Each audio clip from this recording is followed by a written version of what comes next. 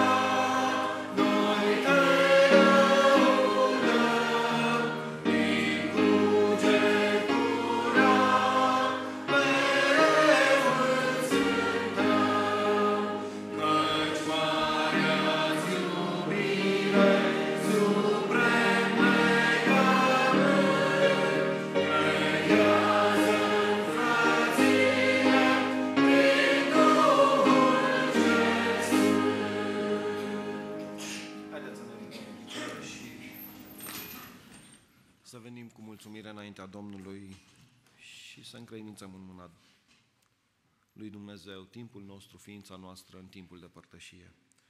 Tatăl nostru care ești în cerul, stăm recunoscători în această dimineață înaintea Ta, pentru că în fiecare zi vedem cum suntem înconjurați de bunătățile și binecuvântările Tale. Vrem, Doamne, să primești mulțumirea noastră în această dimineață. Doamne, îți mulțumim că ori de câte ori venim înaintea Ta, Tu ești gata să ne primești pe fiecare dintre noi, așa cum suntem. Doamne, aceasta este rugăciunea noastră în această dimineață.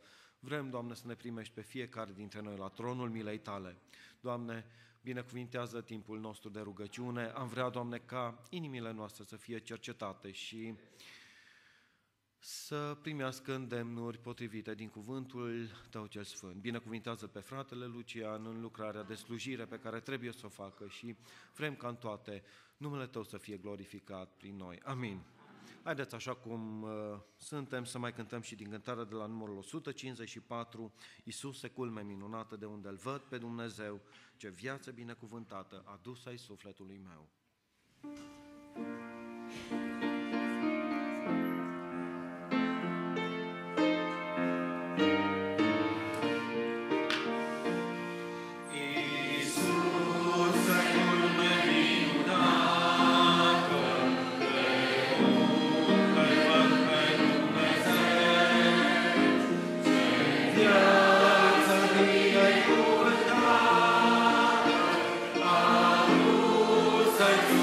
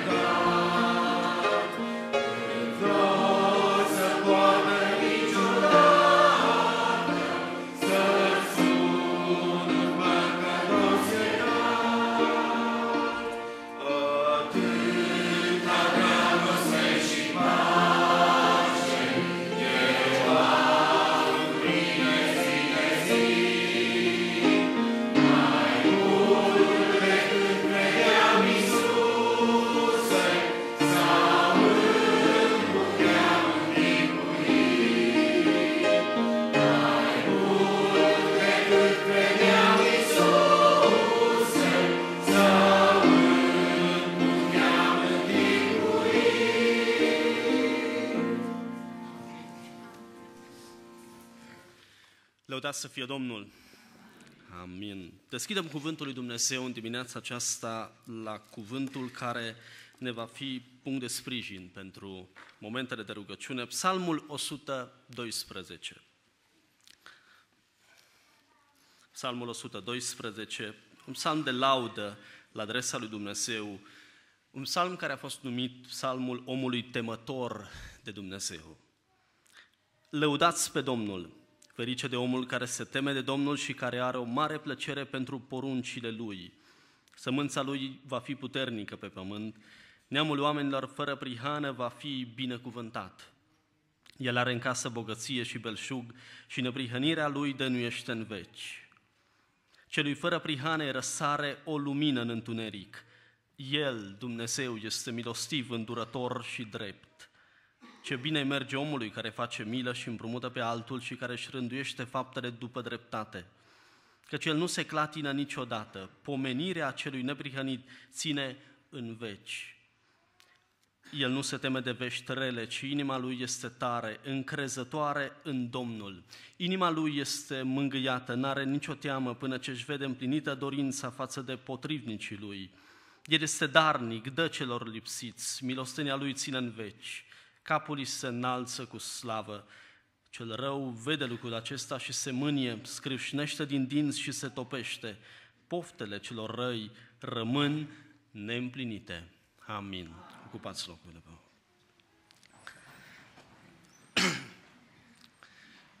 Prin Harul lui Dumnezeu suntem astăzi aici, în dimineața aceasta, lângă acest psalm de laudă.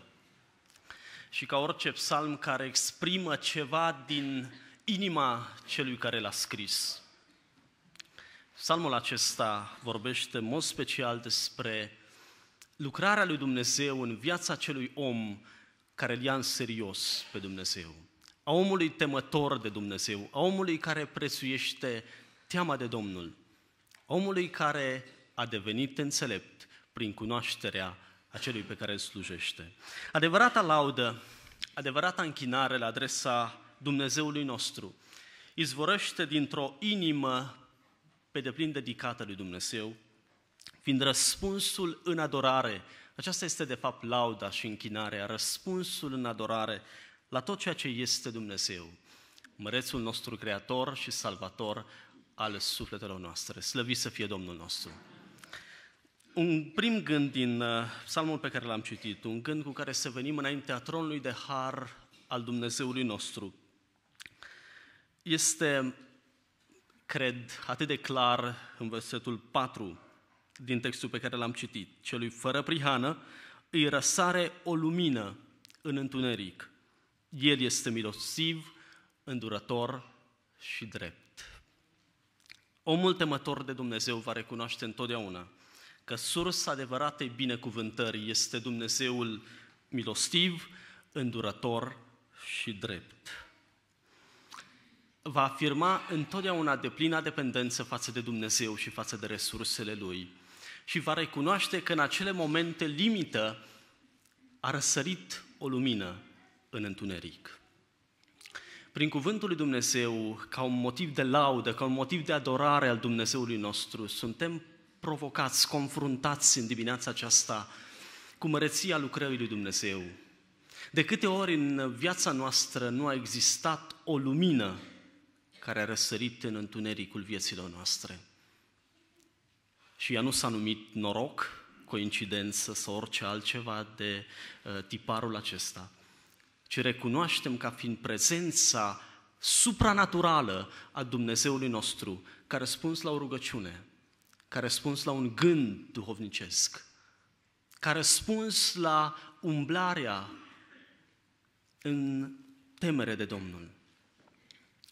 Tot psalmul acesta poate părea pentru unii un psalm idealist. Portretul omului temător de Dumnezeu poate fi conturat ca fiind uh, un psalm de basm. Și totuși, prologul acesta, ferice de omul care se teme de Domnul și care are o mare plăcere pentru poruncile lui, e temelia acestui text, pentru că toate decurg din acest prolog. De aceea cred că în dimineața aceasta gândul fundamental cu care putem să venim în adorare, în motive de laudă la adresa Dumnezeului nostru care locuiește în mijlocul laudelor poporului său, este tocmai acest motiv de mulțumire pentru acele momente în care a răsărit lumina în întunericul vieților noastre. O lumină a mântuirii, o lumină a vindecării, o lumină în care am înțeles cine suntem cu adevărat, ce a făcut Dumnezeu pentru noi, o lumină în care nu mai vedeam poate nimic la capăt de drum și Dumnezeu a intervenit în bunătatea și în îndurarea sa. Cred că fiecare avem în uh, istoria vieților noastre astfel de momente. Și ni se datorează nouă ceva, nici de cum, ci doar Dumnezeului suveran, Dumnezeului milostiv, îndurător și drept. Vă invit să ne ridicăm și cu aceste motive de mulțumire, motive de laudă și de adorare la adresa Dumnezeului nostru, să venim în dimineața aceasta. Ne rugăm Domnului. De oriunde din sală, oameni, frați și surori care simt îndemnul să se roage Domnului. ai răsărit în viețile noastre. Te laud că ești o lumină pe cărarea vieților noastre. Gloriți. Părinte din cer, ajută-mă ca să simt plăcere în a împlini legile și poruncile tale. Da, Amin. Doamne. Mulțumim, Domnul nostru, că în dragostea Ta ne-a arătat atâta bunătate, Doamne. Da, Doamne. Mulțumim pentru neprihănirea care a arătat-o, Doamne, prin Domnul Iisus Hristos față de noi niște păcătoși, o Doamne. Ajută-ne și pe noi să trăim în neprihănire, Doamne. Amin. Ca să putem să facem fapte vrednice de pocăință, Doamne. Amin. Amin.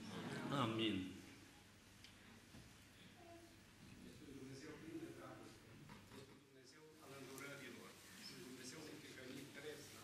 Doamne, pune toată nădejdea în Tine și în Tine, încredem în Tine pe deplin și în cuvântul Tău. Te iubim, Te adorăm și vrem să rămâi cu noi. Slavă Ție. Și în această zi și în aceste zile câte ne-ai dat pe acest pământ.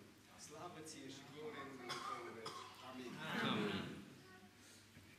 Vrednic ești, Părintele nostru, ca să primești toată Slavă închinarea, toată recunoștința noastră, toată mulțumirea că cine ai căutat și lumina Ta a răsărit și în viețile noastre, Da, astfel Doamne. încât astăzi suntem aici și nu numai să ne închinăm înaintea Ta și să-ți mulțumim. Doamne, dorim să stăm înaintea Ta și să ne înveți în continuare pentru ca să creștem în omul din lăuntru în așa fel încât Da, să Doamne. găsești plăcerea în noi. Slava, cinstea și gloria să ne împodobească în veci. Amin.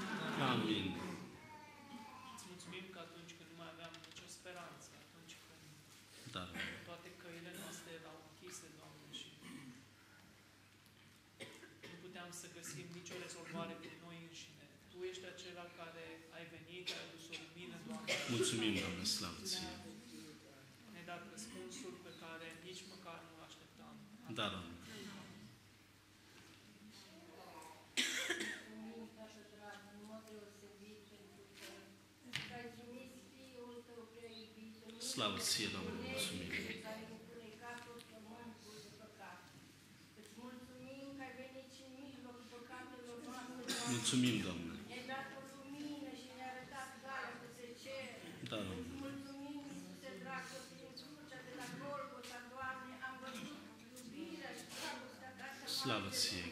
glorie Ție. Um.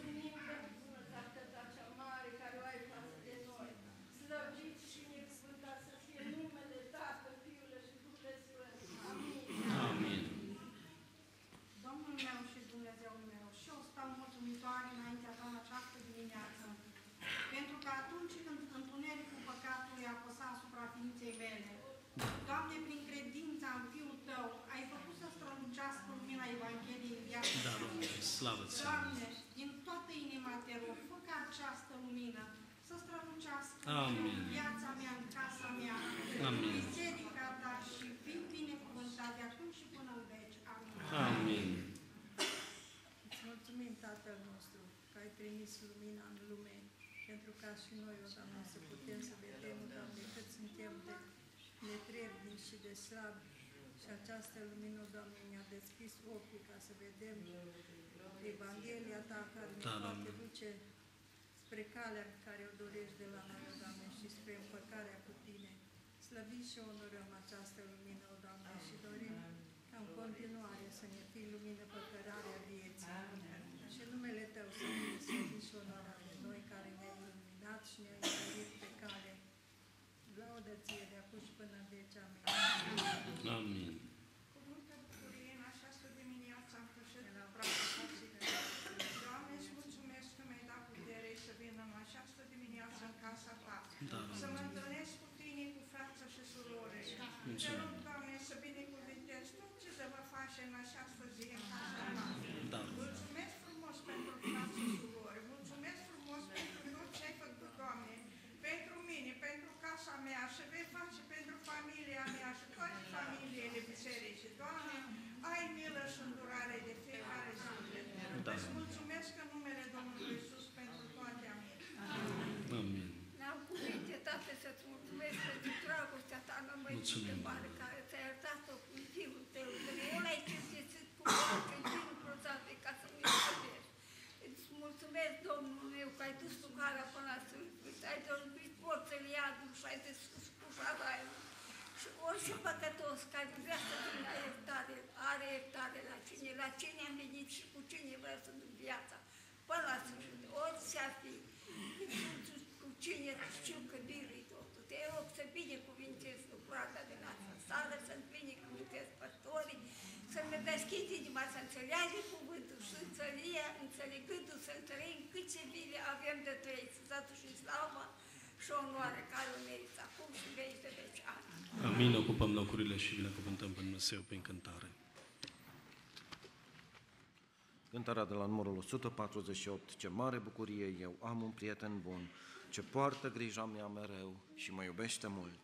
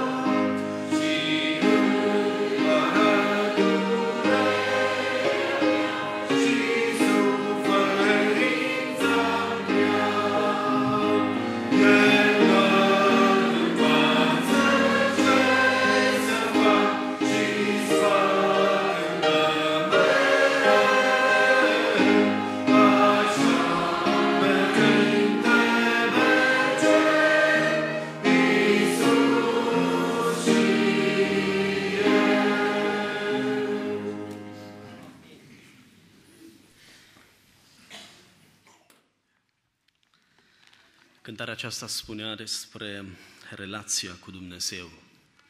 Dar această relație cu Dumnezeu nu poate fi întărită, consolidată, decât dacă omul temător de Dumnezeu caută cu adevărat fața Domnului. O expresie pe care evreii o iubesc foarte mult pentru că exprimă în adâncul semantic al acestei expresii toată căutarea lor după Dumnezeu. Și ce poate fi mai uh, minunat în dimineața aceasta decât să exprimăm și noi, ca oameni răscumpărați prin jertfa de la Calvar, această dorință a vedea cu adevărat fața Domnului. Dar fața Domnului poate fi văzută în rugăciune, în adorare, în mijlocire înaintea Lui, înaintea tronului de har și de îndurare a lui Dumnezeu. Versetul 7 din Psalmul 112. El nu se teme de veștrele, ci inima lui este tare, omul temător de Domnul. Încrezătoare în Domnul, inima este mângâiată, n-are nicio teamă, până ce își vede împlinită dorința față de potrivnicii lui. Când m-am uitat la psalmul acesta, omului temător de Dumnezeu, imediat mi-am adresat o întrebare. Ce se întâmplă cu temerile mele? Și îndrăznesc în dimineața aceasta să colectivizez oarecum această întrebare, interogație la nivelul întregii biserici. Ce se întâmplă cu temerile noastre? Ce se întâmplă cu acele întrebări grele pe care ni le adresăm în diverse momente ale vieților noastre de creștini, de oameni care l-am cunoscut pe Dumnezeu, suntem cu adevărat fericiți? Încotro se îndreaptă viețile noastre? Psalmul evident vorbește despre fericire, ferice de Domnul, de omul care se teme de Domnul și care are o mare plăcere pentru poruncile lui. Răspunsul îl găsim în cuvânt, evident. Și Dumnezeu dorește să ne adresăm fiecare dintre noi aceste întrebări grele, pentru că dacă El este un Dumnezeu al întrebărilor grele, este și un Dumnezeu al răspunsurilor glorioase, slăvit să fie numele Lui. Întrebările acestea grele izvorăsc tocmai din natura noastră umană. Așa suntem construiți, așa suntem creați, structurați psihologic. Dar Dumnezeu are un răspuns pentru fiecare dintre noi și cred că atunci când omul temător de Dumnezeu caută fața Domnului, stă în rugăciune înaintea Lui, caută să găsească această plăcere pentru poruncile Lui, Dumnezeu va veni cu răspunsul. Dumnezeu va da acel răspuns potrivit pentru inima care îl caută cu adevărat. Și spun acest lucru din experiențe proprii, experiențe personale. Dar cred că fiecare dintre dumneavoastră în uh, dimineața aceasta puteți depune mărturie față de importanța și măreția căutării lui Dumnezeu, a căutării unui răspuns la o întrebare grea. Aș dori în dimineața aceasta, dincolo de orice uh, ar putea să ne distragă atenția, să avem un moment de meditație cu noi înșine. Nu știu care sunt întrebările grele cu care fiecare dintre dumneavoastră ați pășit aici, în templul lui Dumnezeu, în casa lui Dumnezeu. Dar cred că răspunsul poate veni, poate veni din căutarea pe care noi o arătăm față de Dumnezeu nostru. Credem asta? Slăvit să fie Dumnezeu! Psalmul 34, versetul 4 și 5. David spune, eu am căutat pe Domnul și mi-a răspuns. M-a izbăvit din toate temerile mele. Când îți întorci privirile spre El, te luminezi de bucurie și nu ți se umple fața de rușine. Omul temător de Dumnezeu convertește toate temerile lui în motive de laudă la adresa Dumnezeului său. pentru că a înțeles cine îl conduce, pentru că a înțeles în mâna cui merită să-ți așezi toate idealurile acestei vieți și toate speranțele pe care le ai cu privire la viața ta.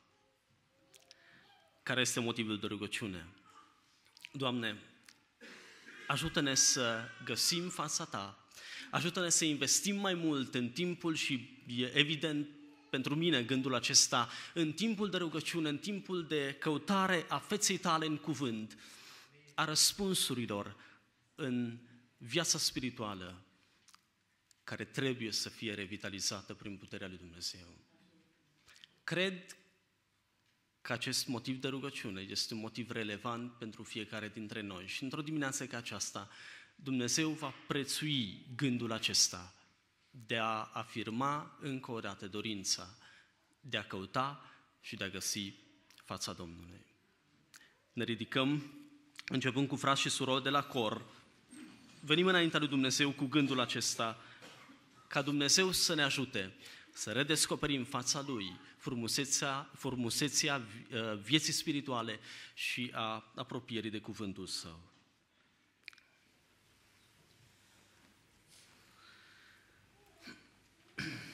Ce fericit este omul care își pune încrederea în tine, Tată din cerul. Îți mulțumim că tu ești stânca în care găsim adăpostul la Da. necaz, Doamne. Te rugăm, ajută-ne ca încrederea noastră să fie de plină în tine și în numele Tău. Noi te rugăm și îți mulțumim. Amin. Pentru că ești prea demn de încredere, Tatăl nostru, venim înaintea Ta și mulțumim că ori de câte ori am pus nădejdea în Tine, niciodată nu Slavă am ție, fost Doamne, îți rușine. mulțumim. Mulțumim că ești tăria noastră și mulțumim că în bucurie ești alături de noi, dar și în necazuri și când lacrimile sunt pe obraz. Mulțumim pentru Duhul Tău care Mulțumim, ne Doamne. sfințește, ne mângâie și este alături de noi. Doamne, în numele Domnului Iisus. Amin. Amin. Te binecuvântăm, Domnul nostru, și mulțumim că ceea ce am găsit în Tine este o comoară extraordinară. Da. Mulțumim pentru nădejdea care o avem în Tine, pentru toate Mulțumim. lucrurile frumoase care le-am primit în Tine. Mulțumim din toată inima pentru că și atunci când trecem prin greutăți și prin voi, Duhul Tău cel Sfânt ne dă înțelepciune, ne dă putere și Slavă ție, Doamne. convertește frica noastră în laudă, în mulțumire, în sprijin, în orice, Doamne, binecuvântat pentru noi și pentru numele Tău. Mulțumim, Duhule Sfânt, că faci viața noastră și ființa noastră frumoasă înaintea Tatălui, trecând prin momentele acestea, nu sunt întâmplătoare în viața noastră. Mulțumim că toate au un rost de a ne transforma în asemănarea Domnului Isus. Da. Încă o dată lăudăm numele Tău cel mare, Dumnezeul nostru și Duhul Sfânt, pentru că faci lucrarea aceasta binecuvântată în Slavă noi. ție. Te slăvim și mulțumim încă o dată. Amin.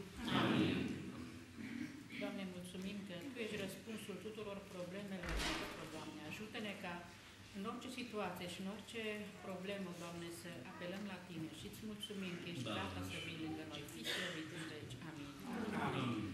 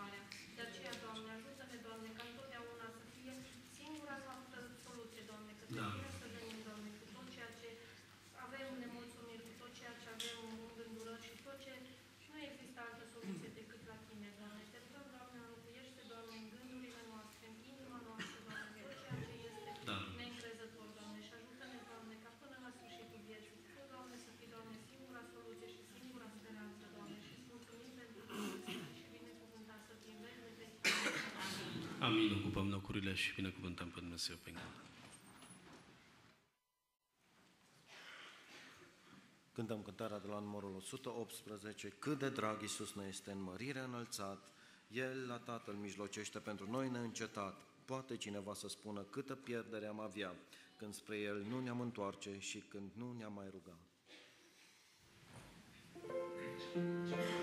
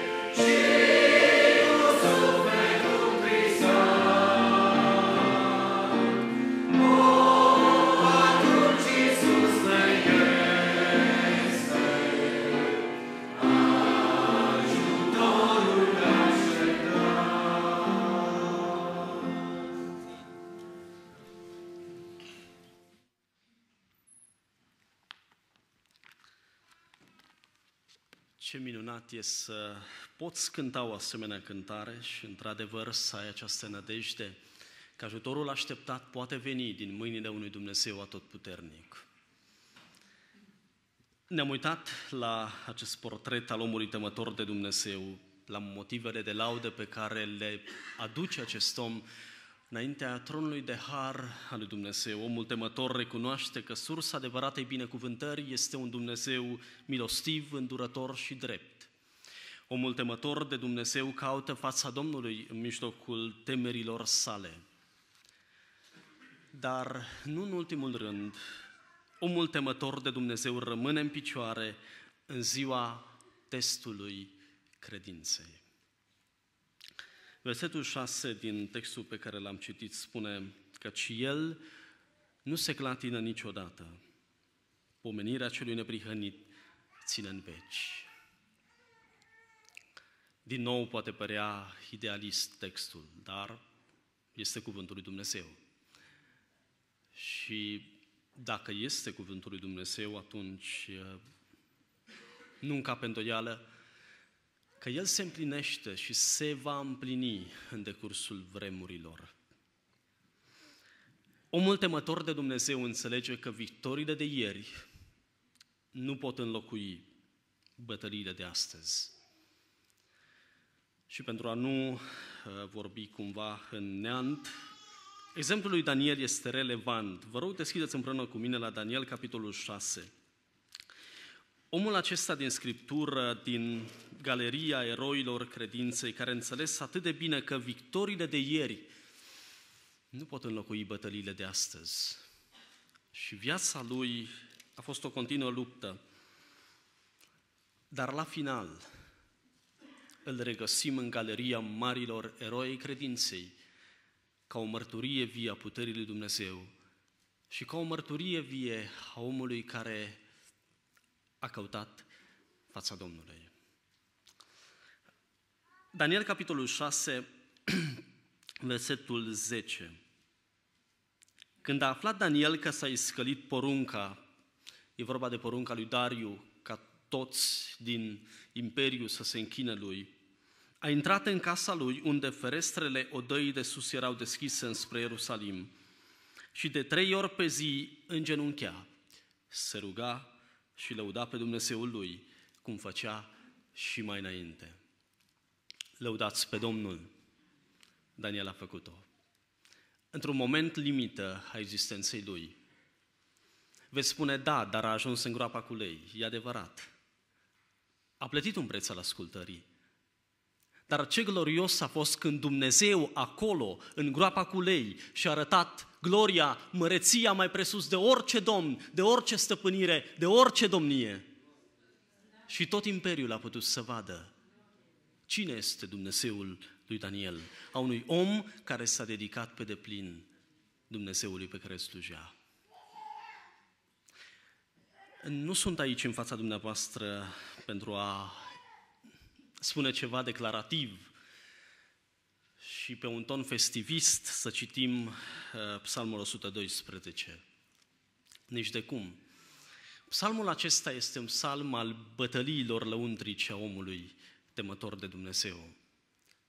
Ca orice psalm pe care îl citim în Scriptură, psalmul acesta exprimă trăirile celui care l-a scris, spuneam.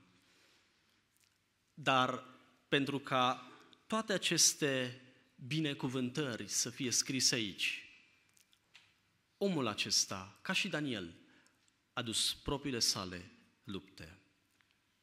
Omul temător de Dumnezeu rămâne în picioare în ziua testului credinței.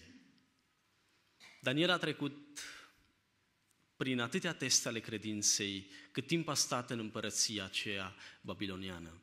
S-au succedat împărați, tronuri, și Daniel a rămas în picioare. Da, poate pentru că era un bun um, specialist în domeniul lui. Poate pentru că era un tehnocrat de care împăratul avea nevoie la curte. Dar cei care citim cuvântul lui Dumnezeu și îl înțelegem mult mai bine,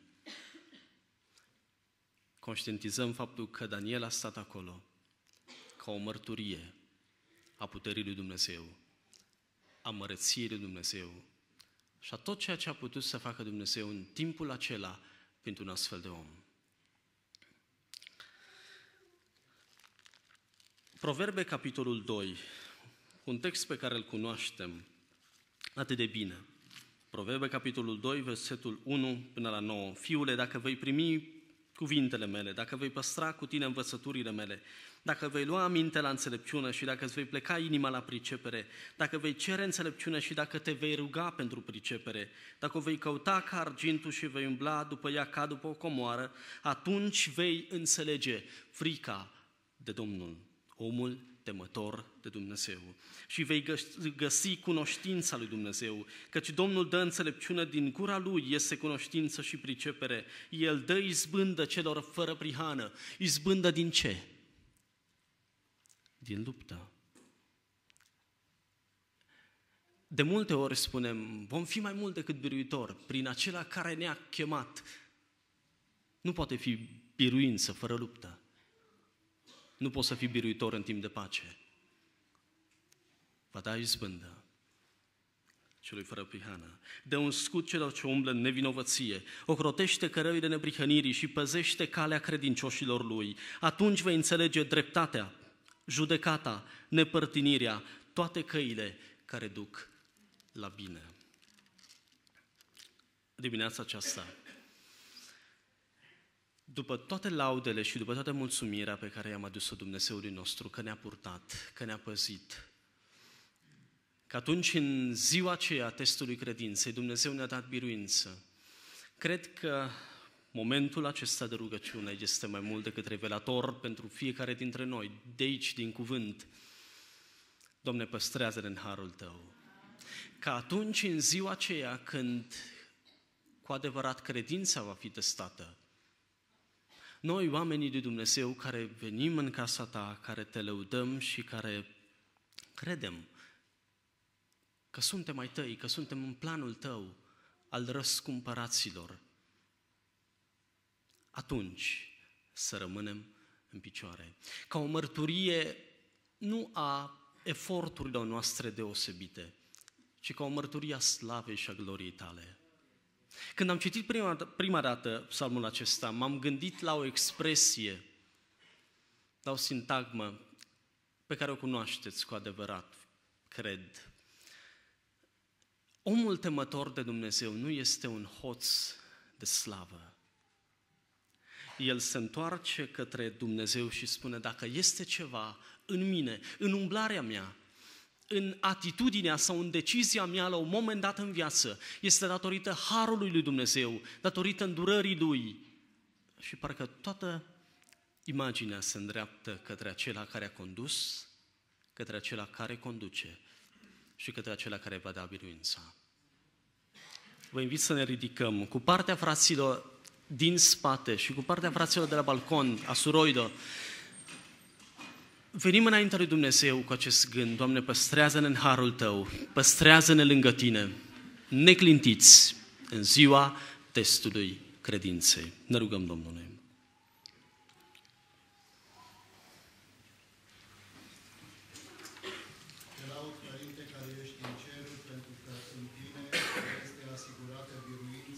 Da, Domnule,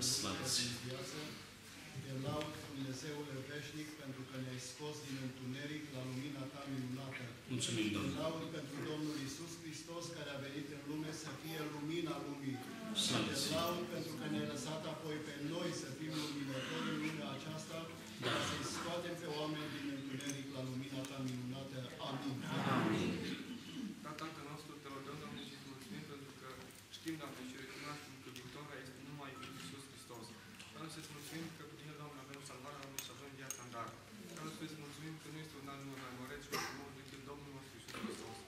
simțit la cu jertfa ta, Doamne, ne cuprins pe fiecare dintre noi. Să rog, Doamne, ajută-ne ca să fim, Doamne, o viață desfășurare, fie am nici și să trăim viața trecută, ție totdeauna să fii slăvit și glorificat prin tot ceea ce facem noi. Amin. Amin. Doamne, Tată, în numele Domnului Isus Hristos, prin puterea Duhului Sfânt, vin să-ți mulțumesc pentru jertfa de la Golgota Domnului Isus Hristos. Îți mulțumesc frumos pentru că prin această jertfă ai oferit iertare de păcate și mântuire. Aș vrea, Doamne, să aduc la picioarele Tale poporul român, în mod deosebit pe cei care și-au pus credința în Domnul Isus Hristos. Aș vrea, Doamne, să cercetez pe fiecare membru al Bisericii Tale în parte și ca plecând din fiecare loc unde este adunat, să vestească Evanghelia Ta în fiecare loc unde merge. Aș vrea, Doamne Tatăl, ca poporul acesta să, vadă, să vadă lumina în, în membrii bisericii tale de pe pământ. Aș vrea, Doamne, ca poporul acesta să se întoarcă la Tine în umilință și în smerenie. De aceea te rog, Doamne, Tată, să ridici oameni care să vestească Evanghelia în fiecare loc, în fiecare sat, în fiecare cătun, Doamne. Să trimiți un om din rândul poporului Tău să vestească Evanghelia. Te rog să cercetezi pe cei care se ridică în numele Tău. Deci vrea să-i pungi cu, du- cu Duhul Sfânt al Duhului Sfânt, Doamne. Și prin puterea Duhului Sfânt să vestească cu putere numai adevărul, Doamne. Aș vrea, Doamne Iisuse, să locuiești în inimile noastre și în ziua aceasta aș vrea ca cuvântul Tău să cerceteze fiecare suflet din locul acesta. Ne-am rugat toate acestea în numele Domnului Iisus Hristos și îți mulțumesc pentru că Tu ai ascultat rugăciunile noastre. Amin. Îți mulțumim, Părinte din cerul, că ai făcut lumină și în familia mea. Dar te rog, Doamne, să ne ajut ca să stăm fața Ta în fiecare zi. Te rog, Doamne, ca viața noastră să fie plăcută înaintea Ta. Te rog, Doamne, și pentru robul Tău să-L întărești, Doamne, să ne vorbească prin cuvântul Tău. Rog, viu și lucrător în viețile noastre, Doamne, și ajută-ne să Te slujim cu credință până la sfârșit. Amin. Mulțumim, o Doamne, că și Tu ești un Dumnezeu al dragostei, al statorniciei și a credincioșiei față de noi. Mulțumim, o Doamne, pentru faptul că putem să-ți mulțumim că suntem în prezența Ta. Am vrea ca și în această dimineață frumoasă de toamnă, ca Tu să fii acela care prin dragostea Ta, prin bunătatea Ta, prin tot ce vrei să ne înveți și prin tot ce vrei să faci, să ne ajuți să creștem pentru slava Ta, pentru mântuirea noastră. Și în felul acesta, cei din jurul nostru să vadă în noi o lumină. Pentru toate, Doamne, îți mulțumim. Amin. Te laudă sufletul meu pe tine, Dumnezeule, și îți mulțumim că ești un Dumnezeu milostiv, un Dilo- un- un Dumnezeu drept și un Dumnezeu, Doamne, care privește lumea și îndurarea asupra fiecăruia dintre noi. Îți mulțumim pentru Domnul nostru Iisus Hristos, care l-ai trimis ca jertfă de ispășire pentru păcatele noastre. Îți mulțumim că suntem copii ai Tăi, Doamne. Și așa cum stăm în fața Ta, te rugăm frumos să ne binecuvântezi pe fiecare parte, cu înțelepciune, cu răbdare, Doamne. Ajută-ne ca să fim prăditori. Te rugăm frumos ca în continuare să ne ajuți să fim o lumină pentru cei din jurul nostru, Doamne. Și noi îți mulțumim în numele Lui Iisus Hristos. Amin. Te laud și te paramăresc, Tată din ceruri, pentru că ești un Dumnezeu atotputernic, atot înțelept. Binecuvântează viețile noastre cu pocăință și rugăciune. Binecuvântează biserica aceasta în totalitatea ei și pe fiecare frate și soră în parte. Binecuvântează serviciile care se vor face aici să fie pe slava Ta, pentru onoarea Ta și preamărea Ta și smerenia, smerenia și umilința noastră. Binecuvântează viețile noastre ca să căutăm fața Ta în fiecare zi. Să Te avem ca Domn, ca Stăpân și ca Mântuitor. Să slăvim, să adorăm și să glorificăm numele Tău în veci de veci. Amin. Te laud, Doamne, și eu în această dimineață, Doamne, pentru dragostea Ta, Doamne, pentru durarea Ta și răbdarea de care ai cu noi, Doamne. Te laud, Doamne, că ești viu, sfânt și adevărat, Doamne. Te laud, Doamne, pentru că sunt copilul Tău, Doamne. Te rog, Doamne, credința care este în mine, Doamne, și legământul în care l-am făcut cu Tine, te rog, înnoiește-l, Doamne, și sporește-l, Doamne, să fie cât mai mare, Doamne, să stau lângă Tine cât mai mult, cât voi trăi pe acest pământ. În numele Domnului Iisus Hristos m-am rugat, Amin. Amin. Părinte Sfânt care ești în ceruri, Mulțumim pentru cuvântul Tău din dimineața aceasta, pentru învățăturile Tale, Doamne. Ajută-mă pe mine fiecare să pot să împlini legea și poruncile Tale, Doamne. Rugăm să ascult rugăciunea poporului Tău din dimineața aceasta, Doamne. Te rugăm să fii de de orice suflet care s-a folosit în casa Ta dimineața aceasta. Cuvântul Tău, Doamne, și învățăturile care din dimineața aceasta să ne fie de folos la fiecare din Da. zilele următoare. Cuvântul Tău să fie o temelie pentru credința noastră în fiecare zi. Mulțumim că ne ascult și strigarea noastră te rugăm să ajungă până la tine. Amin. Mulțumim, Doamne, pentru modul în care ai vorbit viețile noastre și în aceste momente. Îți mulțumim că ne-ai primit în fața tronului Tău de har și de îndurare. Te rog, răspunde, Doamne, acelor rugăciuni care au fost rostite.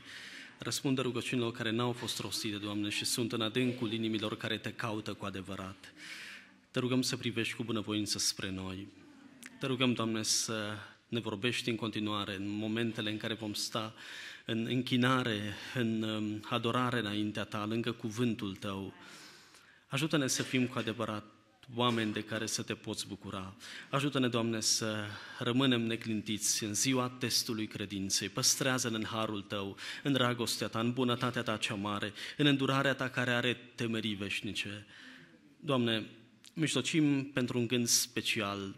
Într-o zi ca aceasta ne îndreptăm inimile către frații și către surorile care fac parte din biserica persecutată. Doamne, Tu știi cel mai bine. Oamenii aceia care luptă pentru credința lor, cu prețul vieții lor, te rugăm să-i întărești, te rugăm să-i sprijinești, te rugăm, Doamne Tată, să le restaurezi credința și nădejdea în Tine. Lasă ca acești oameni, Doamne, să fie mărturii adevărate ale măreției Tale, oriunde în lume.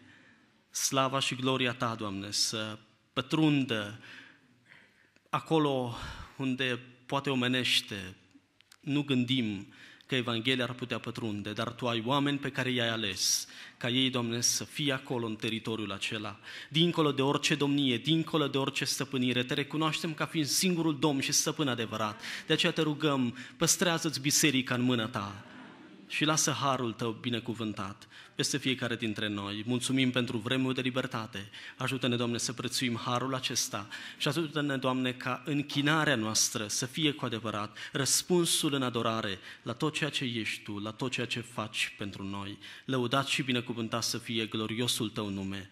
Amin. Amin. Ocupăm locul.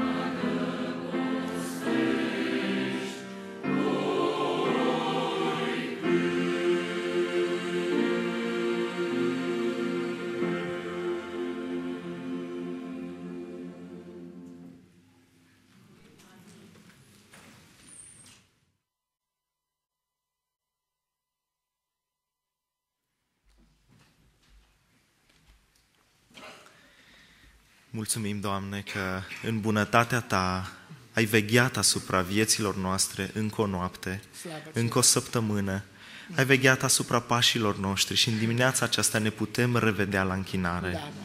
Doamne, vrem ca toată dimineața să fie închinată înaintea Ta.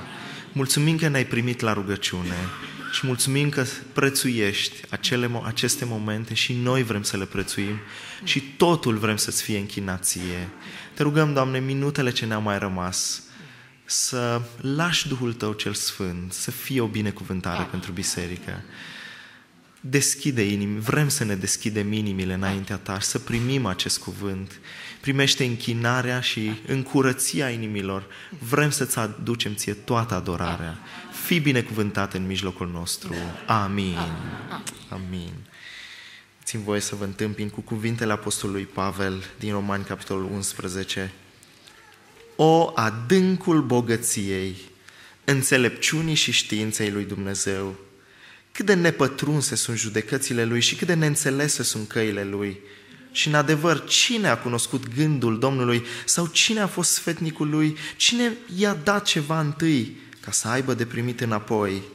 Din el, prin el și pentru el sunt toate lucrurile. A lui să fie slava în veci. Amin. Amin. Vă rog să ocupați locurile.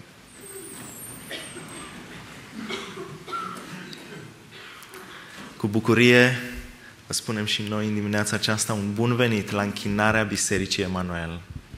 Este un loc în care vrem Scriptura să fie centrală. Amin. Este un loc în care rugăciunea vrem să aibă alocat spațiu suficient.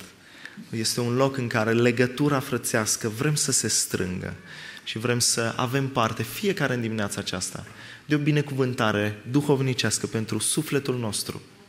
Am alergat toată săptămâna, dar acum ne oprim și ne ridicăm privirea spre cer. După ce am fost concentrați la cele pământești, acum ne oprim și ne uităm înspre cele cerești. Și vrem, îl rugăm pe Dumnezeu ca astăzi să ajusteze direcția noastră așa cum vrea El. Spunem bun venit fiecăruia dintre dumneavoastră. Ne bucurăm să vedem familia Muscan întregită în dimineața aceasta. Bun venit în Timișoara. De asemenea, bun venit tuturor celor care uh, ne vizitați sau aveți rudenii în locul acesta și ați venit să, uh, să vizitați frații, surorile. Bun venit tuturor, tinerilor, vârstnicilor și fie ca Domnul să primească închinarea noastră.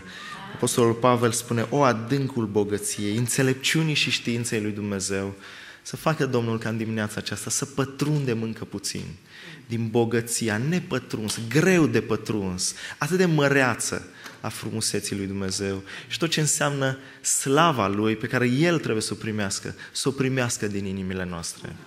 Vedeți, ispita din grădina Edenului tocmai aceasta a fost. A venit șarpele și a spus Evei, de ce să trăiești pentru slava altuia? De ce să nu fii tu propriu Dumnezeu? De ce să nu trăiești pentru tine? Și știm ce a însemnat intrarea păcatului în lume. Dar prin lucrarea extraordinară a Domnului Isus Hristos, prin lucrarea Lui de la Golgota, noi putem astăzi să ne împăcăm cu Dumnezeu, să avem păcatele acoperite și să se restaureze ceea ce a fost planul lui Dumnezeu de la început. El să își primească slava.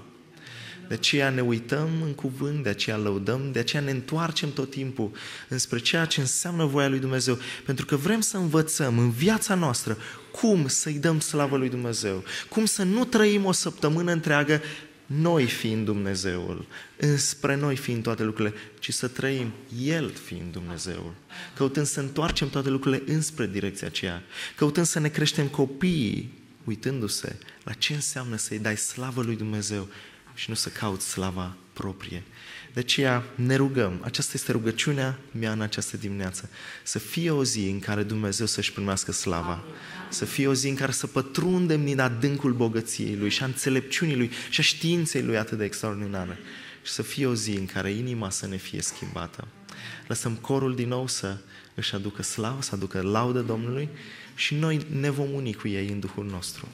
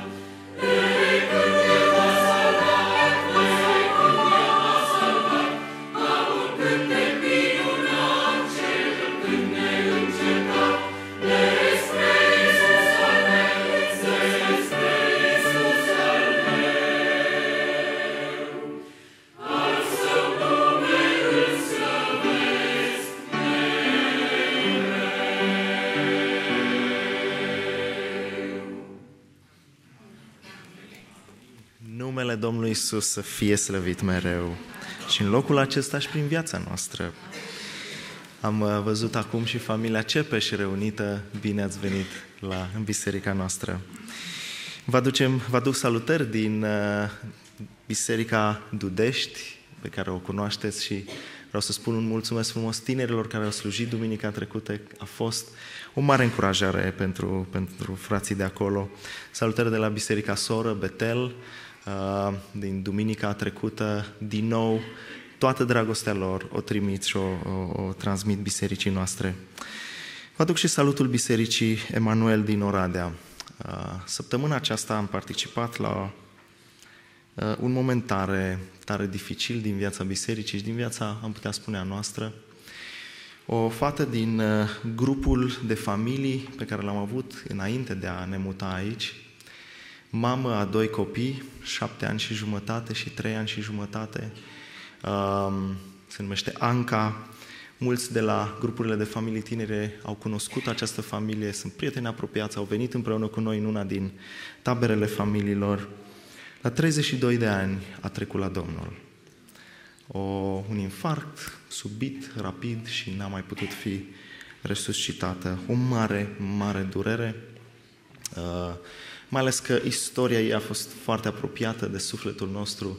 Ea s-a întors din lume, nimeni din familia ei nu era credincioasă, nu era credincios. Um, s-a apropiat foarte mult de soția, mi-a, um, s-au legat relații deosebite, apoi a venit în grupul de ucenicie, apoi am trăit bucuria botezului ei, uh, androgostirii de prietenul meu, uh, unul din prietenii buni, uh, pornirea familiei, copii deodată cu ai noștri, și cel mare și cel mijlociu și stăm și singura lecție pe care o învăț și o iau, este că trebuie să fim pregătiți.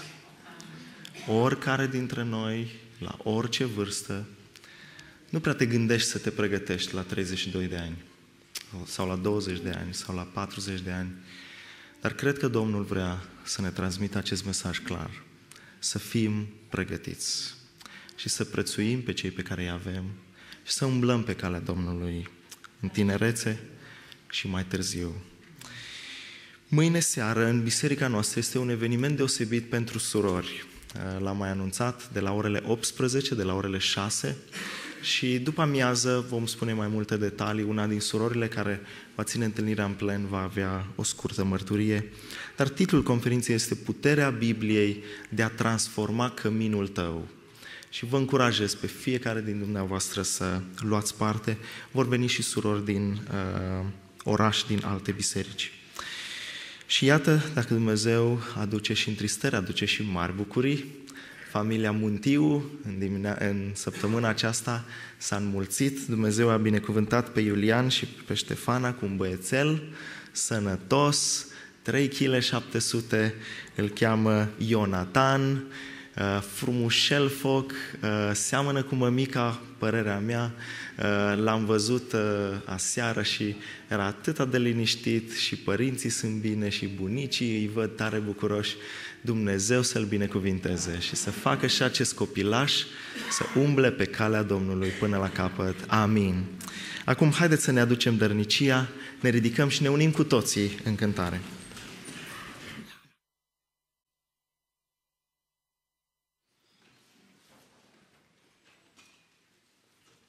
Cântarea de la numărul 307, înveți Scriptura Sfântă, eu nu o voi părăsi, în ea găsesc eu pace și numai bucurie.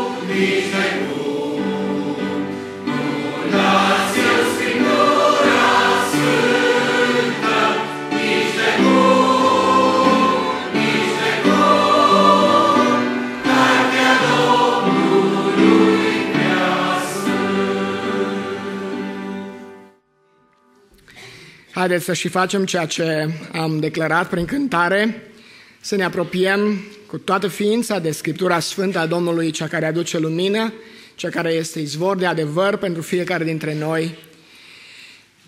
Și în această dimineață citim din Scriptură, din cartea a doua, Apostolului Pavel către Biserica din Corint, 2 Corinteni, capitolul 4, începând cu versetul 1, citim cuvântul Scripturii până la versetul 6.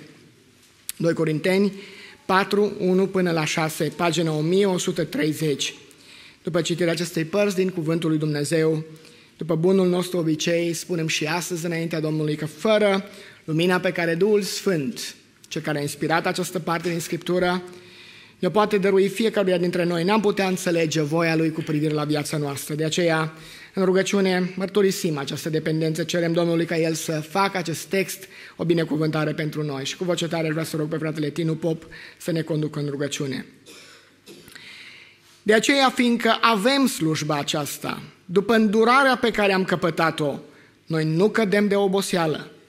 Ca unii care am lepădat meșteșugirile rușinoase și ascunse, nu umblăm cu vicleșug și nu stricăm cuvântul lui Dumnezeu, ci prin arătarea adevărului ne facem vrenici să fim primiți de orice cuget omenesc înaintea lui Dumnezeu. Și dacă Evanghelia noastră este acoperită, este acoperită pentru cei ce sunt pe calea pierzării, a căror minte necredincioasă a orbit-o Dumnezeului viacului acestuia, ca să nu vadă strălucind lumina Evangheliei slavei lui Hristos, care este chipul lui Dumnezeu. Căci noi nu ne propovăduim pe noi înșine, ci pe Domnul Hristos Isus. Noi suntem robii voștri pentru Isus. Căci Dumnezeu care a zis să lumineze lumina din întuneric, ne-a luminat inimile pentru ca să facem să strălucească lumina cunoștinței slavă lui Dumnezeu pe fața lui Isus Hristos. Amin. Să ne rugăm.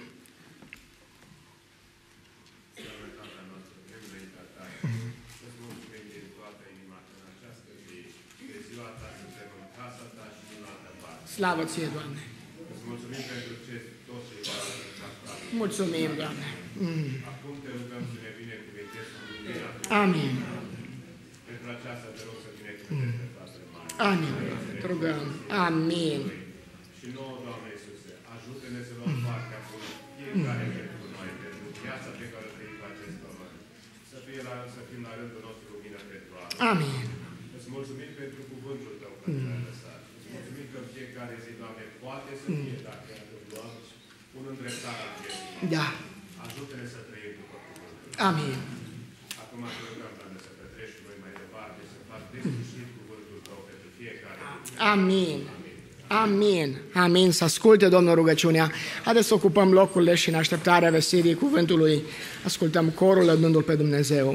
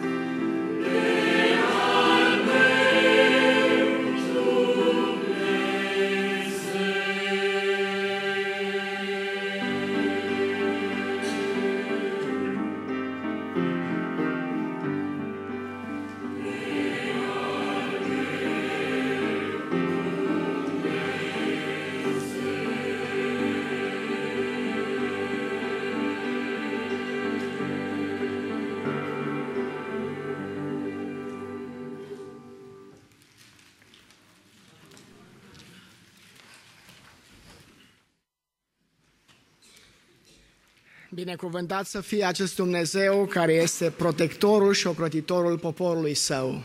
Ce minunat să știm, dragii mei, nu-i așa? Că într-o lume în care tronurile se clatină, există un tron, un singur tron care e neclintit. Acel tron care conduce absolut toate destinele din universul acesta. E tronul de pe care domnește Tatăl nostru Ceresc, Tatăl nostru iubit, cel care are ochii îndreptați asupra fiecăruia dintre noi. Ochii Domnului, spune psalmistul în psalmul 34, sunt asupra celor neprieniți și urechea lor ia aminte la cerile lor. Și dacă în dimineața aceasta ești neprienit, dacă ai primit prin credință în Iisus Hristos statutul de drept și neprienit în ochii lui Dumnezeu, bucură-te de faptul că ochii Tatălui Ceresc sunt îndreptați spre tine. Ești în atenția Lui specială. Ești în căușul palmei Lui și nimic, absolut nimic din lumea aceasta nu poate să-ți facă rău dacă ești chemat după planul Său. Dumnezeu să vă binecuvinteze și să ne binecuvinteze. Este reconfortant și binecuvântat pentru noi să putem să vedem uh, sala aproape plină, să vedem uh, frați și surori, prieteni care ne vizitează, musafire casă Domnului. Ne bucurăm de toți aceia care sunteți împreună cu noi și ne rugăm ca Domnul să ne dăruiască o zi a Domnului binecuvântată în prezența Lui. Și de dimineață și de după masă. Să fie o ocazie de încărcare a ființei noastre cu putere prin Duhul Sfânt ca să facem lucrarea care Dumnezeu ne-a chemat. Și acum fratele Emi spunea în salutul de la început, suntem aici să ne îndreptăm ochii spre Dumnezeu și concepția noastră despre lume și viață să se schimbe radical atunci când înțelegem că El și nu noi trebuie să, fim, să fie centrul atenției noastre. Dimineața aceasta ne-am adunat în acest loc al prezenței lui Dumnezeu să uităm de noi și să ne îndreptăm ochii spre El. Pentru că atunci când îți îndrepți privirile spre El, te luminezi de bucurie și nu ți se umple fața de rușine. Și eu vreau să vă aduc salutări. Duminica trecută am fost uh, împreună cu familia în Italia, la Forlì, uh, invitați de către una din cele două biserici române de acolo, Eh, ne-am bucurat împreună cu frații, sunt eh, o bisericuță mică, Biserica Speranța, cealaltă se numește tot ca noi, Emanuel. Ne rugăm ca Domnul să îi binecuvinteze și pe ei acolo și să-i facă o mărturie pentru el. Astăzi la Biserica Emanuel are loc chiar un botez nou testamentar și ne rugăm ca Domnul să adauge încă alte suflete la poporul său. Eh, ne-am bucurat, dacă tot vorbim de, de bucurii, și ieri împreună cu corul tinerilor din biserica noastră, la o festivitate frumoasă eh, organizată de Radio Voce Evangheliei Timișoara, legată de mărirea timpului de emisie de la două ore, timp de 16 ani, acum recent la 22 de ore. A fost o ocazie în care împreună mai mulți invitați am venit ca să mulțumim lui Dumnezeu pentru această izbândă. Și la această ocazie a slujit corul tinerilor și în locul acesta, într-un mod uh, deschis și public, aș vrea să uh, vă spun că au fost la înălțime din toate punctele de vedere. Dumnezeu să-i binecuvinteze. Au primit aprecieri și încurajări din partea multora care au ținut să uh, mulțumească pentru prestația lor muzicală și pentru, în general, pentru modul în care au slujit. Uh, dacă Vorbim însă de, de vocea Evangheliei, ne bucurăm de, de harul pe care Dumnezeu le-a dat acestui post de radio ca și o rectificare colecta pentru vocea Evangheliei pe care eu am anunțat-o joia trecută din greșeală pentru astăzi este de fapt pentru duminica viitoare, pentru a treia duminică din, din lună. Însă nu despre asta vreau să vă vorbesc, ci despre faptul că uh, avem cu toții dorința ca Radio Vocea Evangheliei să fie cu adevărat o voce a Evangheliei lui Hristos. S-a înmulțit harul, e adevărat, dar uh, nu uitați, este posibil că acolo unde s-a înmulțit harul să înmulțească și altceva. Uh, s-a înmulțit timpul de emisie, dar se poate să se înmulțească și oportunitățile în care um, lucruri uh, denaturate și mesaje false care induc credincioșii în eroare de asemenea să se înmulțească. Spun lucrul acesta cu oarecare doză de îngrijorare, Eh, nu ca o critică, pentru că am observat, ascultând acum mai mult în mașină, fiind în mașină eh, frecvența pe 92,2, uh, mai multe, mai ales pe linie muzicală, mai ales din, din, din uh, melodiile și cântecele care se emit la momentul acesta la vocea Evangheliei, sunt anumite uh, melodii, mai ales cele cu tentă contemporană, care, în opinia mea, umilă, induc, induc idei greșite, o teologie greșită cu privire la Evanghelie. Nu mă leg de stilul muzicii, nu mă leg de, de uh, instrumentație, nu mă leg de aceste lucruri la momentul acesta, ci mă leg de ceea ce este cel mai important lucru într-o melodie sau într-un, un, într-un im sau o cântare interpretată de orice grup muzical. Mă refer la mesaj.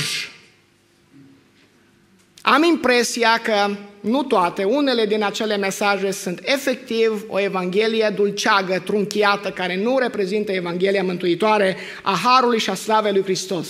Este ceva, un mesaj um, care sună frumos din exterior, care pare interesant și, și plăcut pentru că satisface nevoia noastră de, um, uh, de a avea pe cineva lângă noi, dar nu este despre Domnul Isus.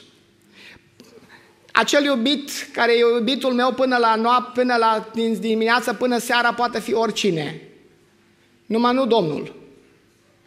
Spun lucrul acesta ca o avertizare și mai ales pentru că trăim vremuri recent, tot în, în luna aceasta, pentru că mi-a spus că mulți urmăriți Alfa Omega. Am spus-o din acest amvon și o spun și aici. Colaborarea mea oficială cu, radio, cu, cu, cu Alfa Omega a încetat în noiembrie 2010 acum doi ani.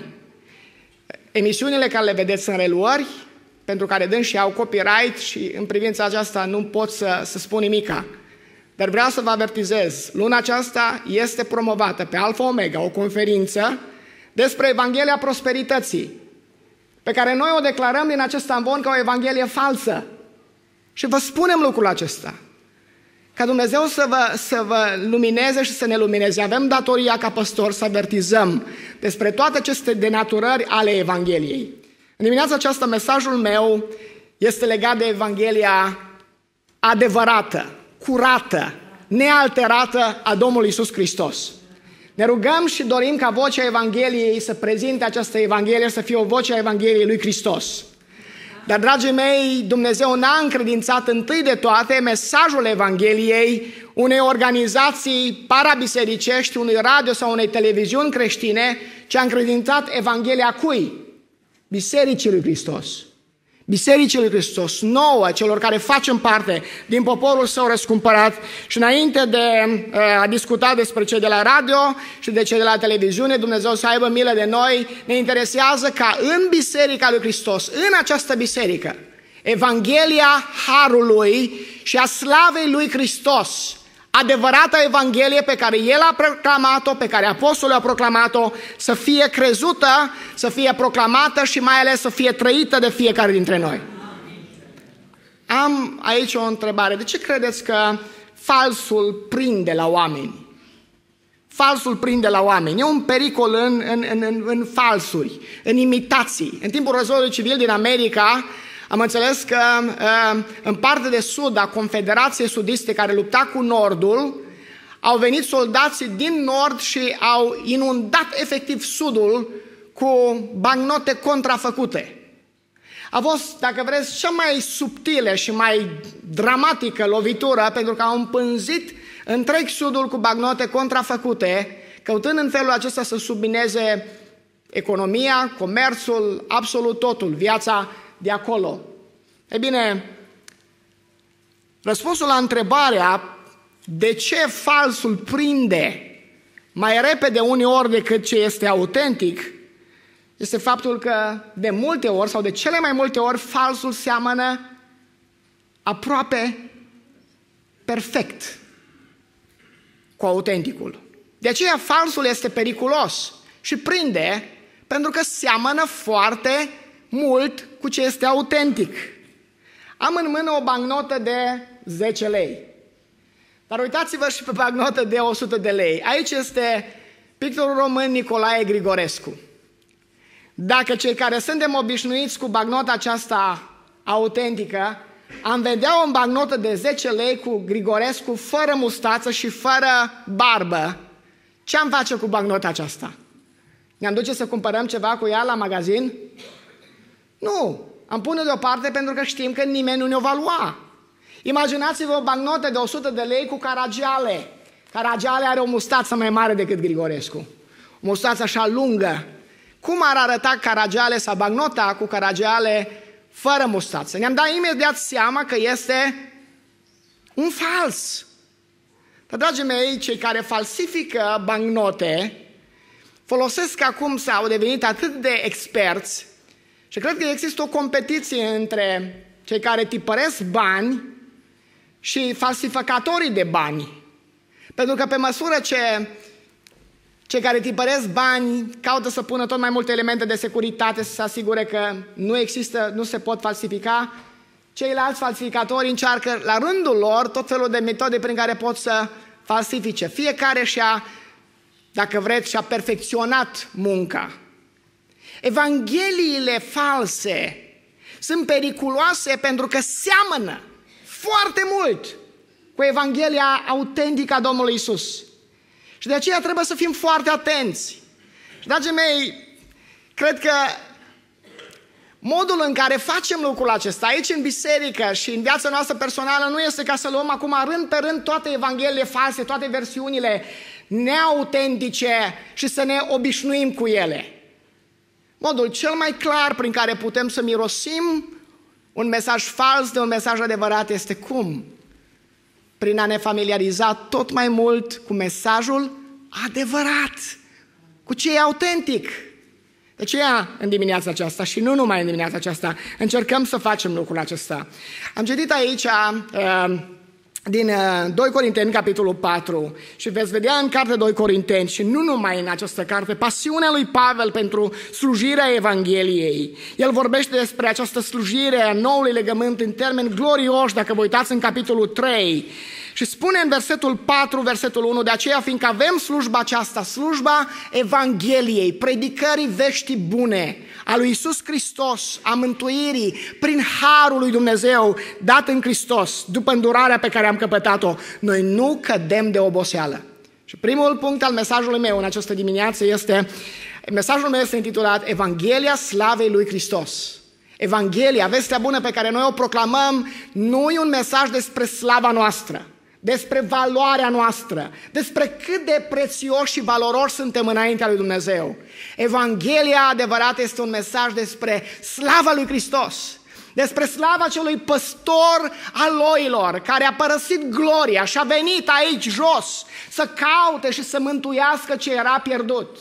El n-a venit aici pentru că eu și tu eram valoroși. Noi suntem valoroși pentru că El a venit aici ce a investit El în noi, faptul că ne-a creat după chipul Lui și apoi prin păcat a continuat să ne dea har, asta ne face valoroși. Dar eu și tu nu suntem valoroși noi înșine. Evanghelia nu e un mesaj despre valoarea mea și valoarea ta. Evanghelia este un mesaj despre valoarea lui Hristos. E un mesaj despre valoarea unui Dumnezeu care, deși sfânt, în dragostea Lui, a plătit prețul suprem pentru ca noi, cei condamnați la pierzare, să fim iertați și împăcați cu El. Slăvit să fie Dumnezeu! De aceea nu ne-am vorbit în această dimineață. A salut fratele Emia, citit în Roman 11, versetele acelea extraordinare. Din El, prin El și pentru El sunt toate lucrurile. Dragii mei, Evanghelia Slavei lui Hristos este un, un obiectiv urmat de slujitorii adevărați a ei. Și Pavel spune în versetul 1, fiindcă avem slujba aceasta, slujba Evangheliei, după îndurarea pe care o căpătat-o, nu cădem de oboseală, observa, observa aici că această Evanghelie mă obligă ca predicator și ne obligă ca predicatori și ne obligă pe noi care o mărturisim zi de zi în mărturia noastră față de semenii noștri, să fim consecvenți și să o predicăm neabătut, să nu cădem de oboseală. Pavel folosește un termen aici din, din război, un termen militar și spune nu capitulăm, nu punem steagul jos, nu capitulăm și nu, nu cedăm ca niște lași, chiar dacă știm că vor veni vremuri în care oamenii caută să-și, să-și uh, uh satisfacă auzul cu tot felul de povestiri neadevărate, să-și gâdile auzul spiritual, chiar dacă e la timp și e ne la timp, chiar dacă cel, cel din casa mea nu vrea să audă și mă cosocotește săcăietor, eu continui să vestesc această Evanghelie.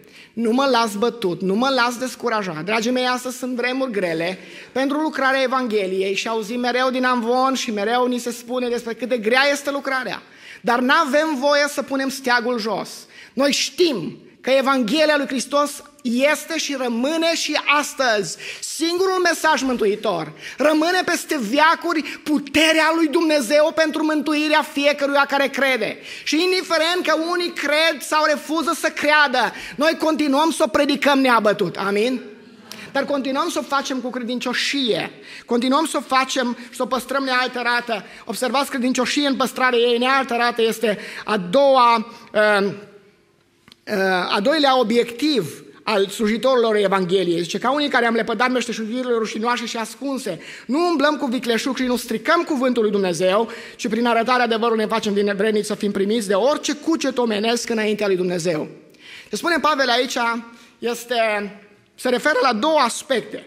Întâi de toate se, respect, se referă la un caracter privat al predicatorului, se referă la viața lui particulară și Pavel spune suntem credincioși, spune lui Dumnezeu, în viața personală, am lepădat meșeșugirilor și noastre și ascunse, trăim cu integritate și atunci când nu ne vede nimeni.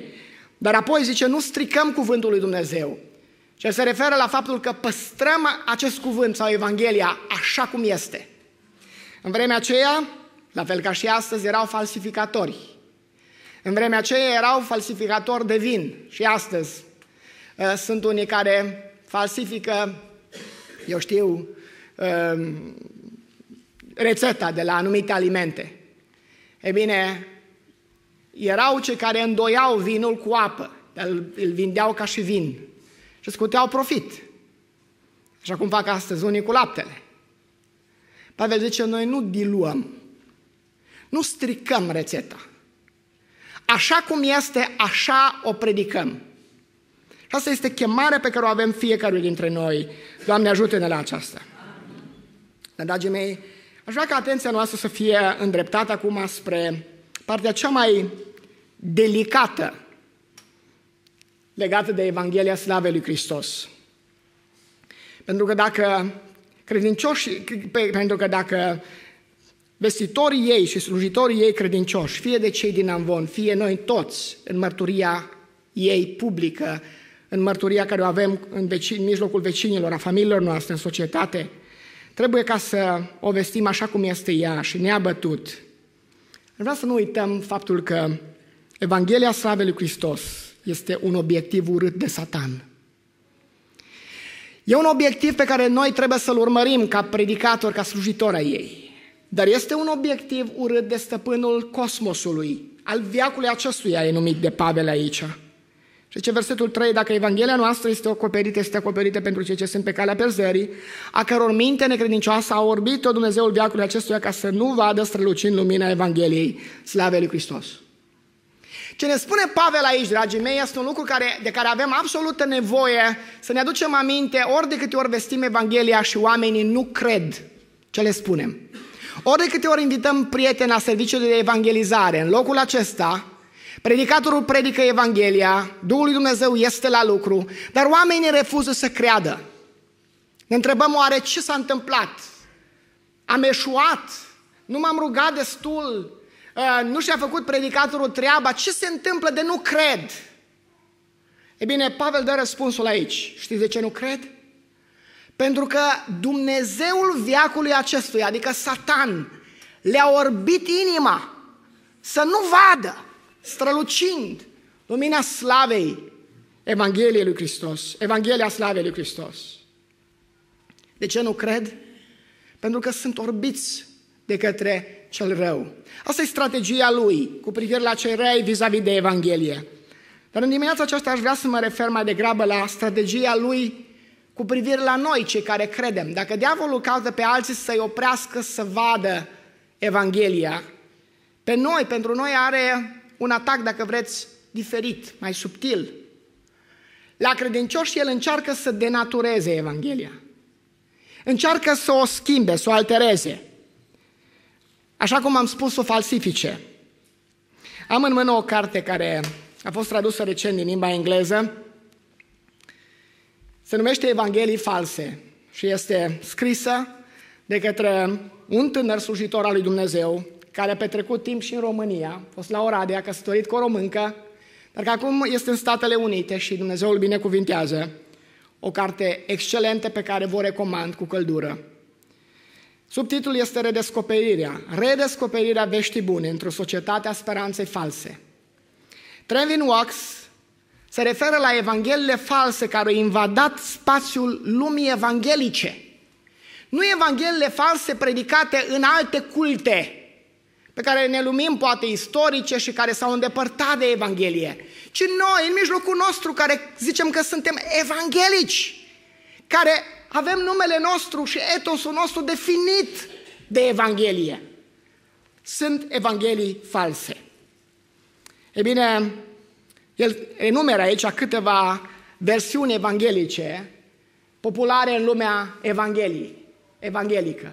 Prima dintre ele o numește Evanghelia Happy Meal. Am, am uh, ales, în mod intenționat, să păstrez terminologia lui Trevin Wax, Evanghelia Happy Meal. Acum, pentru cei dintre noastre care nu aveți nepoți sau copii, e așa cum avem noi de 4-5 ani, cum este, nu prea știți de Happy Meal. De McDonald's ați auzit, da, de McDonald's ați auzit.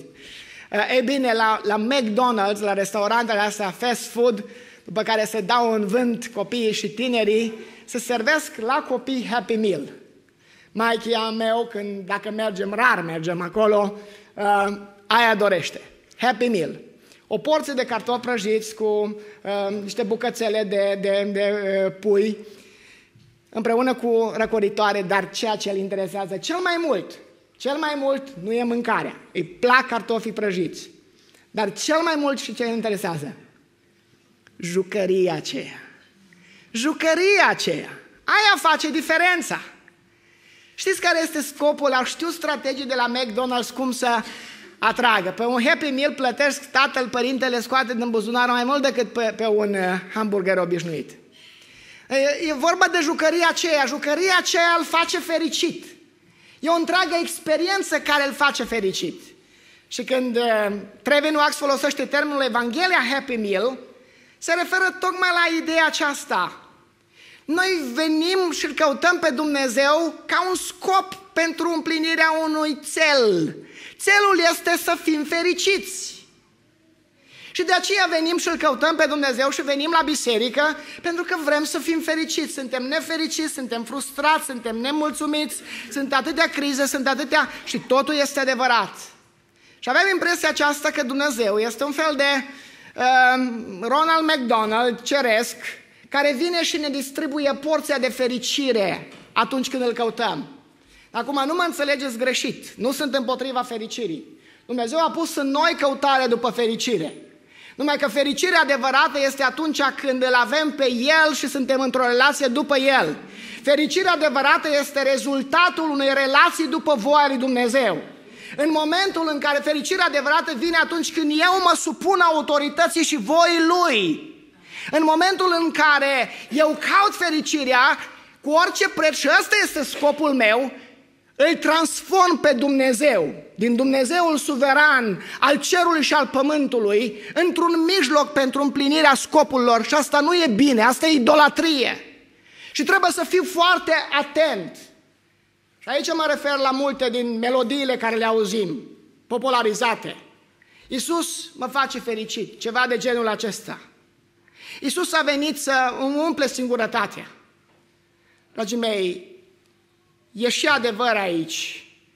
Dar în modul în care oamenii înțeleg și preiau mesajul acesta, îi duce pe mulți într-o direcție greșită și complet denaturată a ce înseamnă Evanghelia.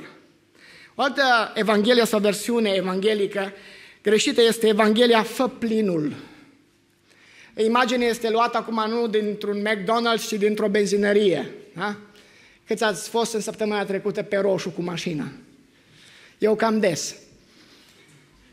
mergem, mergem la stația de, de, de benzină, da, ca să facem, nu facem plinul, nu, nu mai știu de când am făcut plinul, da, adică să punem acolo, să, să umplem ceva în rezervor, să punem ceva acolo. Ideea este că suntem goi pe dinăuntru și așa suntem, epuizați, obosiți și venim să ne încărcăm, să facem plinul. Și biserica este un fel de stație de alimentare spiritual vorbind, în care venim să ne simțim bine. Am avut o săptămână agitată și venim aici să ascultăm cântări care să ne ridice. Dragii mei, nu spun că e greșit lucrul acesta, numai să avem iarăși grijă de prioritățile adânci ale inimii noastre. Dragii mei, să nu confundăm simptomele cu cauza. Să nu confundăm simptomele cu cauza. De ce suntem goi? Aia e problema. Uneori credem că problema este că suntem goi. Nu! Problema este păcatul care ne face să fim goi. Noi nu venim aici ca să ne simțim mai bine, să ne umplem. Venim aici în prezența lui Dumnezeu, să lăsăm pe El să transforme viețile noastre. Și apoi suntem împliniți. Dar nu confundăm simptomele cu cauza. Evanghelia teleshopping. Ați văzut la la reclamele acestea la televizor, la teleshopping, tot felul de produse inovative, extraordinare, care dacă le folosești, dacă ai, eu știu, uh, răzătoarea aceea de cartofi sau așa, dacă ai oala aceea, dacă ai setul acela de cutare în bucătărie, uh, îți vor revoluționa viața. Dacă ai cumva uh, salteaua aia, vei dormi tun. Nu vă întreb câți nu vă întreb în dimineața aceasta câți ați credeți chiar în asta și ați trimis și ați primit. Fratele David la Lugoj avea un sfat. Nu crede tot ce ți se spune.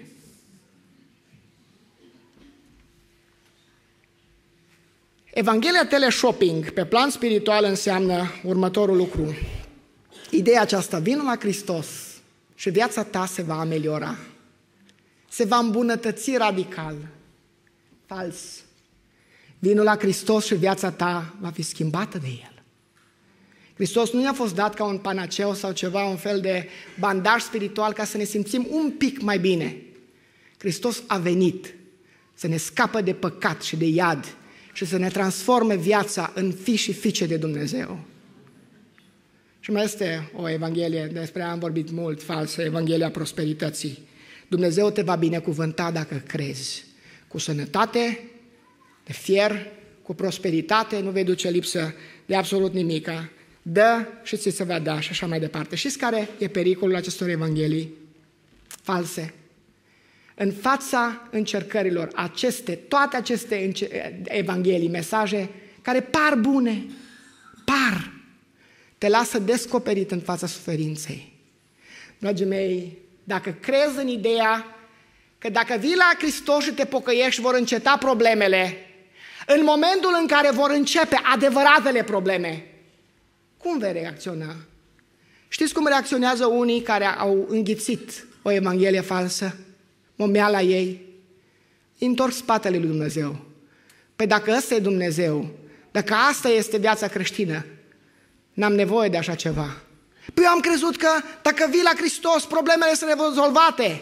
Nu, unele probleme tocmai atunci vor apare, pentru că ai ales să-L slujești pe Hristos. Doar Evanghelia adevărată, Evanghelia slavei lui Hristos, aceluia care a suferit crucea, a disprețuit rușinea și a ajuns la dreapta scaunului de domnia lui Dumnezeu. E Evanghelia care în momente de descumpănire grea, când îți ia Dumnezeu cea mai scump, copilul, când îți ia Dumnezeu soțul și soția de lângă tine, când îți pierzi locul de muncă, când nu știi încotro să te îndrepți, doar Evanghelia aceea te va echipa să rămâi pe cale și să crezi că în ciuda a ceea ce se vede, Dumnezeu rămâne înțelept, Dumnezeu rămâne bun, Dumnezeu este pe tron, slăvit să fie El. Evangheliile false în fața suferinței te vor dezamăgi.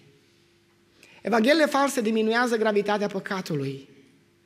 Păcatul e recunoscut ca o problemă, dar o problemă care mă face fericit. Însă Biblia declară că păcatul este întâi de toate călcarea legii a voii lui Dumnezeu revelată în cuvântul său. Asta este problema. Restul sunt simptome ale problemei. Problema care trebuie rezolvată este păcatul și relația mea cu Dumnezeu. David spune împotriva mea, împotriva ta, numai împotriva ta am păcătuit. Da, David s-a simțit frământat în cugetul lui. David a avut procese de conștiință. David a fost încărcat cu sentimente de vinovăție. Dar David a înțeles că rădăcina problemelor lui emoționale este păcatul. Și până când nu s-a pocăit de păcat și nu l-a mărturisit, n-a primit eliberare. Evangheliile false diminuează gravitatea păcatului. Și, dragii mei, Evangheliile false diminuează slava lui Hristos. În aceste Evanghelii false, Hristos este văzut mai degrabă ca un medic, ca un terapeut care vine și cum te simți și încearcă să-ți dea tot felul de paliative. În Evanghelia Scripturii, Evanghelia adevărată, Hristos este cu adevărat un mântuitor. E Dumnezeu care s-a făcut om și care a plătit pe cruce prețul pe care eu trebuia să-l plătesc și tu trebuia să-l plătim în fața unui Dumnezeu sfânt, ca să ne împace cu Dumnezeu și apoi, prin nașterea din nou și lucrarea Duhului Său, să ne reîntregească, să facă din noi ceea ce trebuia să fim inițial. Și într-o zi vom fi eliberați de prezența păcatului din noi și din jurul nostru. Și atunci vom ajunge la starea aceea de binecuvântare perfectă în Împărăția lui Dumnezeu. Dragii mei, Evanghelia este Evanghelia slavei lui Hristos și asta trebuie să fie obiectivul predica- predicatorilor și slujitorilor autentici. Este obiectivul pe care satan îl urăște cel mai mult și obiectivul urmărit de Dumnezeu. Dar aș vrea să spun două cuvinte în încheiere, căci noi nu ne propovăduim pe noi înșine, ci pe Domnul Hristos Iisus. Noi suntem robii voștri pentru Iisus. Căci Dumnezeu care a zis să lumineze lumina într-un întuneric, ne-a luminat inimile pentru ca să facem să strălucească lumina cunoștinței slavei lui Dumnezeu. Observați, slava lui Dumnezeu e în centru, pe fața lui Isus Hristos. Suveranul creator, adevăratul stăpân al Universului, a făcut două lucruri. A făcut două creații. La prima creație el a spus să fie lumină și a fost lumină. Și apoi Dumnezeu a făcut o nouă creație, o naștere din nou. Și la a doua creație, El a spus în dreptul meu să fie lumină în inima lui Marius, în inima cutare, în inima cutare. Ne-a luminat inimile. Și scopul este ca noi acum să facem ca lumina aceasta slavei lui Dumnezeu să strălucească în jurul nostru, prin viața noastră, prin mărturia noastră. Doamne, ajută-ne în aceasta. Doamne, ajută-ne să ne obișnuim și să cunoaștem tot mai clar, tot mai bine elementele Evangheliei autentice și să fim în stare să mirosim de la distanță orice apare, dar nu este adevărată Evanghelie. Să respingem, să spunem altora și să proclamăm Evanghelia adevărată știind că doar ea are putere de mântuire. Și apoi să trăim Evanghelia. Doamne, ajută-ne la aceasta. Să o credem și să o trăim. Această Evanghelie este un mesaj despre slava lui Hristos, a Creatorului, a Mântuitorului nostru. Îl are în centru pe El, pentru că din El și pentru El sunt toate lucrurile. A Lui să fie slava în veci. Amin. Christ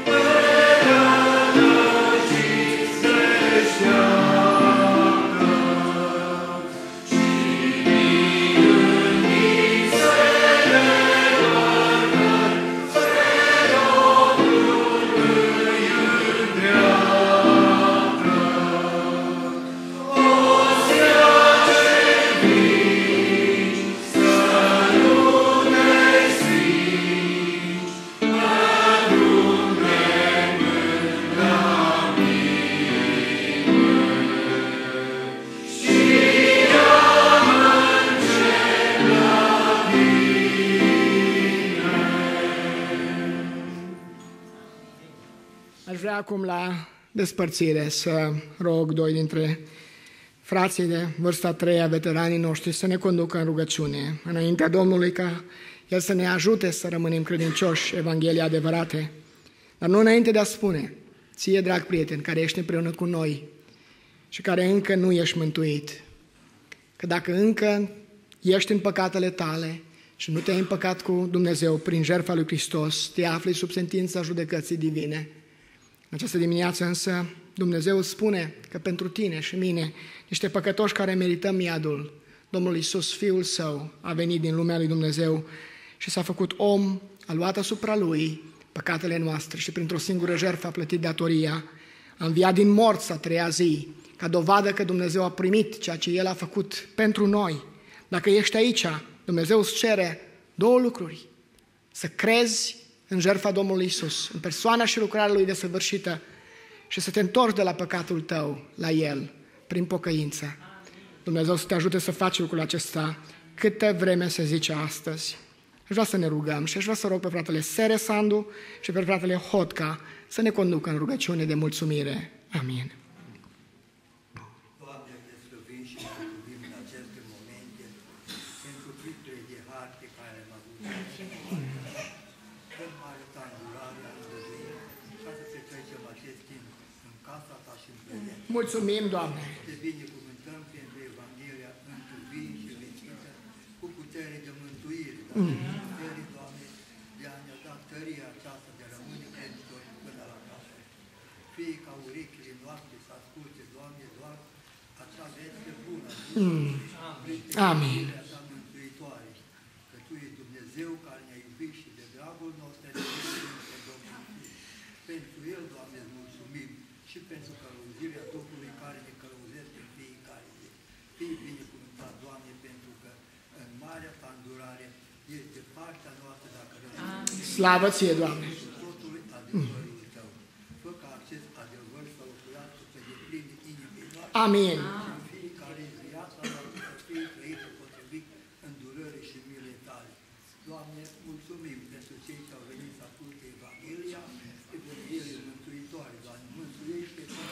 har și binecuvântare peste predicatorii care investesc, Doamne, cu îndărneală, cu puterea Duhului Sfânt, cu Cuvântul Tău. Și pentru toate noi că slăvim, mulțumim și te adorăm, Doamne, că e Dumnezeul mântuirii noastre.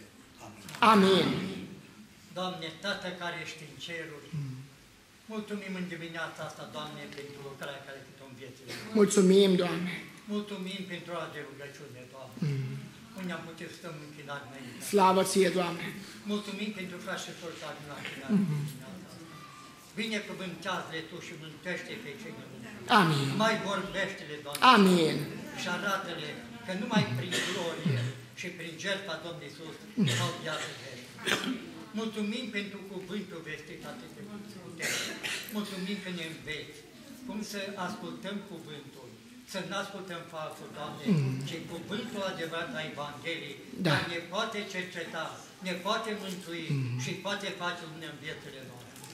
Mulțumim Dumnezeu nostru că ești prezent prin Duhul Tău ce Sfânt și ne cercetezi prin cuvântul Tău Slavă în ție, fiecare Doamne. clipă. Mm. Mulțumim pentru păstorii noștri, Doamne, pentru cei ce s-au angajat în lucrare, pentru cei ce ai pus să lucrezi în rolul Tău. Binecuvântează, Doamne, binecuvântează și misionarii cuvântului Amin. Tău, care s-au dus cu cuvântul, Doamne, Dă-le putere prin Duhul Sfânt să lucreze pentru împărăția Ta și cei ce ascultă să fie mântuiți. Doamne, ajută Doamne! Mulțumim că ne-ai făcut copii de Dumnezeu și suntem, Doamne.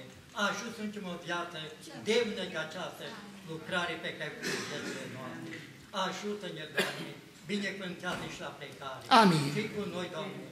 Așa vin cu bine casele noastre și dă-ne har și putere în tot ce facem, să facem numai voia Ta și cuvântul Tău să împlinim viețile noastre în fiecare zi. Dorim ca Ta să fie toată slava, toată gloria și mărirea, de acum și până în veci de veci. Amin. Amin, amin. Numele Domnului să fie slăvit cu binecuvântarea Lui și unii către alții ne despărțim.